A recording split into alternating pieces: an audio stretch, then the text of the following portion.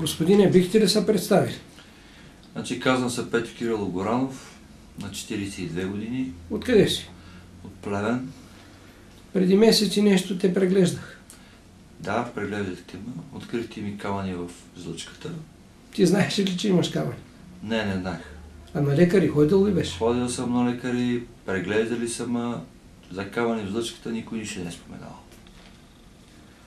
Като пи билката, какво стана? Ми, значи тия три дена чувствал съм се добре. В смисъл, когато ги пих, не е чак толкова лошо. Да. След трите дена просто почувствах друг... Не знам, чувствах се като друг човек. А колко камъни изкара? Значи не съм брил всичките, но по-малко от 60-70 не са. Значи около 60-70 камъка. Нещо такова. Казваш, че си ослабна. Около 10 кг за един месец. Но се чувства значително по-добре.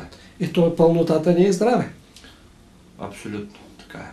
Ти вероятно си искал и да ослабнеш, защото ти е тежало. Това ми беше и целта.